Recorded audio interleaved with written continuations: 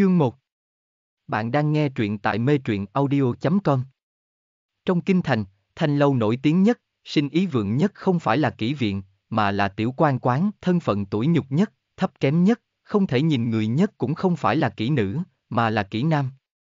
Là loại người bị coi là vô sĩ, bản thân cũng là nam nhân, lại lấy thân đi hầu hạ nam nhân, từ lâu đã không còn ai xem bọn họ là nam nhân nữa rồi, mà là thứ nghịch thiên, bất nam bất nữ, này công tử, nhân sinh như mộng, thoát cái đã bạc đầu, vậy sao không buông bỏ tất cả, ở chốn phù hoa này mà dạo chơi một vòng, trên lầu son, rèm lụa pháp phới bay như mộng ảo, một nam nhân mị hoặc ông cổ cầm, đàn một khúc nhạc bi ai, đôi mắt ưu sầu tự như ánh trăng, ngón tay thon dài ưu mỹ như có như không lướt. Nhẹ. Nam nhân không phải quá đẹp, nhưng lại lộ ra thần sắc buồn bã làm động tâm bất cứ người nào, khơi gợi ý muốn được che chở, được ôm hắn vào lòng. Bên dưới, người nghe toàn bộ đã ngẩn ngơ, nơi đây là nam quán nổi tiếng nhất kinh thành, thế nhưng ngay cả một cái biển đề tên cũng không có, hàm ý nơi này mãi mãi không được người công nhận. Có thể ở đây đàn một khúc nhạc đến ưu thương đến thế, thoát tục đến thế, cũng chỉ là một kỹ nam. Thứ sử Trác Lâm cười tươi thưởng thức tiết mục đặc biệt này, mỗi bên đã ôm một mỹ thiếu niên, lại quay sang nhìn đại nam nhân đi cùng mình từ nãy tới giờ, vẫn im lặng uống rượu, thế nào? Đại nhân nhìn trúng hắn. Quả là trăm nghe không bằng một thấy. Nói rồi, đại nam nhân đi thẳng lên lầu, một lúc tiếng đàn liền ngưng lại, thỉnh vị công tử đây ra ngoài. Chân mày của mỹ nhân nhíu chặt, thái độ có chút cảnh giác, kèm không vui. Nam nhân cũng không vì thế mà phật ý, tiến lại, ngã ngớn dùng bàn tay của mình, bao trọn bàn tay của mỹ nhân, sao vậy? Không đàn nữa, không muốn đàn cho đại gia nghe. Mỹ nhân bị giật mình mà vội vã rụt tay về, vì rút quá nhanh còn để lại trên mu bàn tay nam nhân một vết xước dài, thỉnh công tử tự trọng, ta đây chỉ bán nghệ không bán thân. Ngươi muốn không bán thì liền không bán. Nam nhân cười đến tàn độc, âm trầm vương đầu lưỡi liếm vết thương nhỏ trên mu bàn tay, tâm bắt đầu xuất ra ý niệm muốn chinh phục, không, là muốn hủy diệt. Mỹ nhân phát giác được nguy hiểm, bắt đầu giãy dụa, lại không thể ngăn được chính mình bị nam nhân kéo ra ngoài. Thấy vậy, từ đâu chạy tới lão bản, bất nam bất nữ, mặt trác cả cục phần tươi cười đon đã nói, công tử, xin thứ tội cho Tiếu Liên còn nhỏ, chưa hiểu chuyện.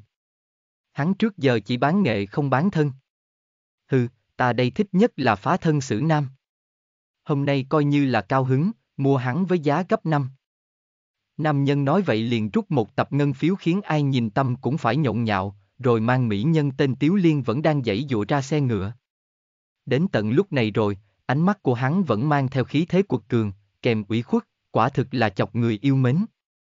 Nam nhân đối với kết quả này thật hài lòng, cười ha hả hôn lên má hắn một phát, đổi lại là ánh nhìn căm giận của tiểu mỹ nhân, một màn thi bạo ngay trước cửa kỹ nam quán này, người người nhìn thấy đều coi là chuyện thường tình, có thấy cũng coi như không.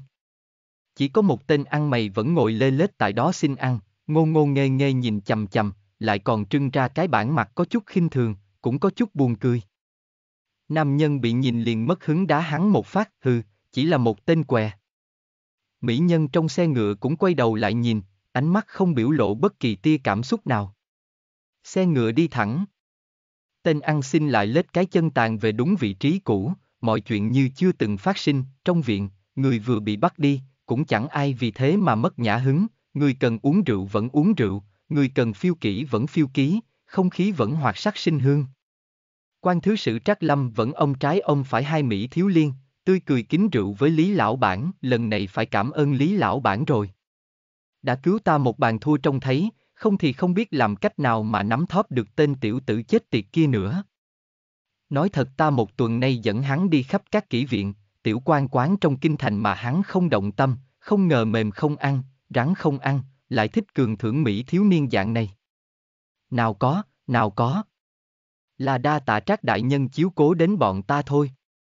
Lý lão bản, dây trước vừa cẩn thận cất tiền bán thân của tiểu tử kia vào hòm, dây sau đã cười đến vô lại, tự nhiên mà cạn chén rượu, lại nhận thêm phần tiền đưa thêm của trác lầm, phen này kiếm đủ, tiền tài như mọc cánh mà bay tới, ta vẫn có chút lo lắng, tên tiếu liên đó sẽ không gây ra chuyện gì chứ.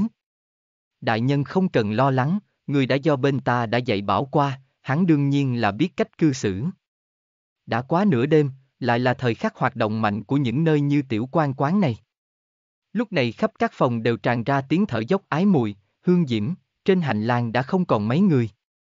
Hai tiểu quan nho nhỏ, vì không có khách, mà nhàm chán ngồi buôn chuyện, những chuyện vặt vảnh loạn thất bát tao. Vừa rồi để người bị bắt đi như thế, Tiếu Liên đại ca sẽ không sao chứ. Tiểu quan nhỏ hơn, tên nại tử, niên kỷ còn nhỏ, vẫn chưa khai bao, có chút ngờ nghệch cùng lo lắng hỏi, đổi lại một tràng cười không dứt của người lớn hơn, sao sao cái búa. Hắn mà không bị mang đi mới là có chuyện đấy. Ngừng cười một chút, tiểu quan lớn hơn tên Kỳ Liên nói tiếp, vừa rồi một màn bán nghệ không bán thân thật là làm ta cười đến muốn trẹo quai hàm. Mà không ngờ bọn có tiền thật là dễ lừa, chỉ diễn diễn một chút liền được giá gấp 5 lần. Tên Tiếu Liên đó thật là cao thủ. À, sao thế được? Nại tử có chút không xác định hỏi, tất nhiên, ngươi mới tới nhiều cái còn chưa biết rồi, Tiếu Liên là thủ đoạn nhất ở đây đấy, nội cái ngón đàn vừa rồi ta nghe còn suýt bị lừa đến rất lệ, huống chi là đám đại nam nhân. Tiếu Liên là đi lừa người hả? Huynh ấy không phải là sử nam bán nghệ không bán thân à? Ha ha. Đương nhiên không phải. Không ngờ ngươi cũng bị màn này lừa. Hắn ta mà còn là sử nam thì ta đây phải là đệ nhất trinh nữ rồi.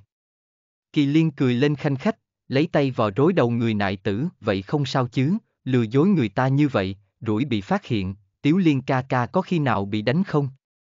Hơn nữa nam nhân kia thoạt nhìn rất ghê gớm. Ngươi lo cái gì, cũng không phải là nữ nhân có màn trinh. Với lại, tên tiếu liên đó thủ đoạn ghê lắm, cần làm cái gì liền làm, cần biểu hiện cái gì liền biểu hiện, có trời mới phân biệt được. Thế nhưng, cũng đâu phải lỗi tại bọn ta. Tại đám đàn ông thối đó, ngày nào cũng đi phiêu kỹ mà còn muốn xử nam, làm gì có lắm xử nam cho bọn hắn khai bao đến thế. Hôm nay tên Trác Lâm đó, đột nhiên đến, kêu muốn tìm hàng tốt, lại còn phải là xử nam, Lý lão bản đi đâu mà kiếm, đành phải để tên Tiếu Liên kia ra tay. Nếu không có chút ngón nghề đó thì tiểu quan quán này còn trụ được bao lâu? Kỳ Liên hung hăng nói, nại tử cũng không dám ý kiến, chỉ gật gật như gà mổ thóc, chuyện đó là chuyện các ngươi bàn được à. Từ trong bóng đêm bất ngờ đi ra một nam nhân, vẻ ngoài kỳ dị không khỏi làm hai tiểu quan giật mình đến suýt hét toán lên, mặt liên lão sư. Đánh giá người mới tới này, không khỏi tự hỏi, kỹ nam quán cũng có người thế này sao? Người này không thể gọi là loại hình mỹ thiếu niên được, không có bất cứ điểm nào đẹp, thân hình cao lại ống, gầy như con bọ ngựa, da trác phấn dày có chút bụng beo, gương mặt chẳng có điểm gì xuất sắc, hình như đã có chút quá tuổi. Nghề này thực chất quan trọng cũng không phải là gương mặt, mà là khí chất. Tiếu Liên vừa được đưa đi kia có chút thanh lệ thoát tục, kỳ liên kia lại có điểm sảng khoái, vui tươi, nại tử tuổi còn nhỏ nhưng khẳng định lớn lên cũng sẽ động lòng người, thì đặc biệt người này mặc liên một thân tục khí, mắt lại có chút nhỏ, gian xảo như con chuột, khó có nam nhân nào có thể muốn ông hắn đi. Hôm nay hắn đã uống không ít rượu, có chút đi đứng lão đảo, cả người bốc mùi, chỉ ngửi thôi đã muốn người khác nhăn mặt, chỉ là chút chuyện phím lúc nhàn rỗi thôi, ngươi cũng đừng có quá đáng. Kỳ liên hừ một tiếng nói, hiển nhiên không có cảm tình với người mới đến. Nại tử vì không rõ tình hình liền im miệng, các người vào chốn này thì tập trung lo chuyện của mình đi. Ta khuyên càng ít lo chuyện bao đồng thì càng sống lâu. Mặt liên cũng không nói gì nhiều, liền một tay ôm bình rượu một tay như bạch tuột cuốn chặt lấy nại tử, như có như không khiêu khích qua lại, hơi thở mang mùi rượu quanh quẩn bên cần cổ. Nại tử hiển nhiên là không có kinh nghiệm, bị đùa dẫn đến mặt đỏ bừng bừng, chọc cho mặt liên cười khúc khích. Rõ ràng tên này khiến người chán ghét như vậy, vừa xấu, lại vừa tiện, nhưng mà thật có kỹ thuật, rất biết cách khiêu khích nam nhân.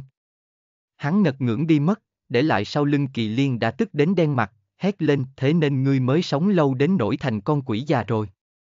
Tên vừa già, vừa xấu, chết tiệt. Kỳ liên chửi đến mức mặt đỏ bừng bừng, thở cũng gấp, bên cạnh nại tử bị đùa đến cũng tức giận, hung hăng nói tên này là ai vậy? Thật là quai nhân.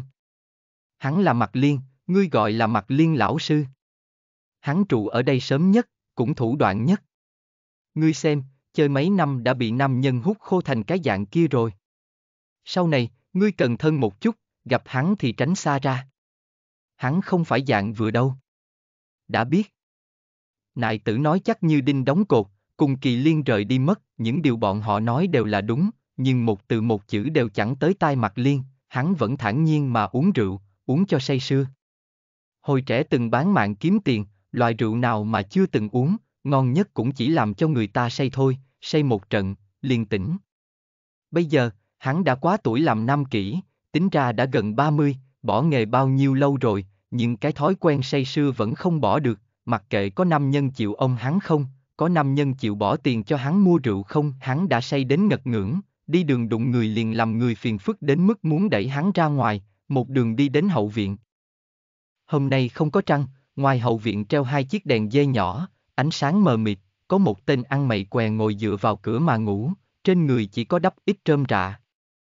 Mặt liên đã say sưa đến không biết gì nhìn chầm chầm hắn, vừa bẩn, vừa xấu, tóc tai loạn như mớ rễ cây, mặt thì đen thùi lùi, lại còn nổi hạch nổi mụn tùng lung, thế nhưng mặt liên lại nhìn chầm chầm, nhìn như nhìn thú vui cảnh đẹp, còn cười khanh khách, tên ăn mày dường như ngủ cũng chẳng được thoải mái, đêm khuya có chút lạnh, hắn lại ăn mặc trách nát, chỉ có chút trơm rạ đắp thân, nên ngủ không được sâu, đánh rung mình một cái liền tỉnh lại.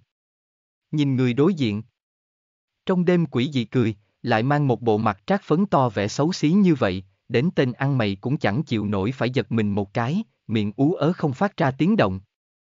Mặt liên hứng thú bừng bừng quan sát hắn, mắt nheo nheo lại như con mèo, cười càng tợn, ha ha. Lại là một tên câm. Tên ăn mày cũng chỉ ngạc nhiên lúc đầu, sao không chịu yếu thế trừng mắt với mặt liên, hai bên mắt to trừng mắt nhỏ một hồi, trừng một lúc, điên rồ thế nào mặt liên lại trừng ra phản ứng. Là do rượu vào khiến hắn đã phân không rõ mọi chuyện, lại thấy cô đơn, muốn được nam nhân ôm, chỉ có thế mới khiến hắn ngay cả đối với một tên ăn mày xấu như quỷ này sản sinh ra dục vọng. Đã bao nhiêu lâu rồi không làm, có lẽ là vài năm rồi không ai động đến hắn nữa. Vì dục vọng của bản thân mà mặt liên có chút đỏ mặt, lại chẳng suy nghĩ gì, dứt khoát thuận theo. Đưa một tay với vào thứ đã đứng thẳng của mình, một tay vuốt ve bộ ngực của nam nhân, lại ngoài mong đợi phát hiện ra tên này mặt có xấu, người dù có hơi gầy nhưng ngực sờ thật tốt, rất đàn hồi, kỳ thực mặt liên đã quá tuổi, lại có điểm già xấu, nhưng kỹ thuật khiêu khích nam nhân là rất tốt, không phải vậy thì tên nại tử kia vừa rồi đã chả bị hắn chọc cho thở hồng hộc. Lúc này hắn vuốt ve ngực của tên ăn mày lại thêm 10 phần nhiệt tình, xoa, nắng, miết, nặng đủ kiểu, hơi thở dồn dập mang màu sắc phả lên mặt tên ăn mày, ngân nga khe khẽ. Lúc mặt liên đạt cao trào, hơi thở lại càng hỗn loạn, à, một tiếng liền bắn đầy tay mình. Mặt liên chẳng suy nghĩ được gì cả, hai mắt nhắm nghiền, chỉ thấy trống rỗng trong lòng, muốn hôn, liền đưa môi lên tìm môi người lạ, thế nhưng trong khoảnh khắc, tên ăn mày liền xoay người đi tránh né, nụ hôn rơi vào khoảng không làm mặt liên mở to mắt ra ngạc nhiên nhìn, phát hiện trong mắt đối phương là mờ mịt, khó hiểu. Vừa rồi chỉ lo cho bản thân mình, hoàn toàn không để ý tên ăn mày kia, giờ mặt liên mới thấy ngoài bản thân ra, đối phương một tia phát tình cũng không có, trong mắt trừ không hiểu vẫn là không hiểu, ra là một tên ngốc. Mặt liên lẩm bẩm, cũng thanh tịnh không ít.